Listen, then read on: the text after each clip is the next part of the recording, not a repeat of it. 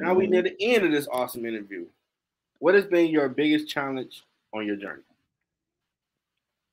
Uh, time has always been a, a big um Yeah. thing for me. Uh, you know, I have always done like two or three things at one time. You know, like I said, I was a single parent, so like for 18 years, I was out here by myself with a child, working two jobs or doing my business and working a side job or you know, it, it's just, you know, having that time, you know, and and I hmm do um you know, I, I'm not gonna say I'm hating on the people now, but like all this work from home stuff, I wish that I had to work from home back then because it would have been so much easier for me. You know what I mean? like you can work from home. You don't have to put your child in daycare really. You know what I mean? Like it when they're when they're infants like that, that was a big thing, you know, and it was a big money uh pool.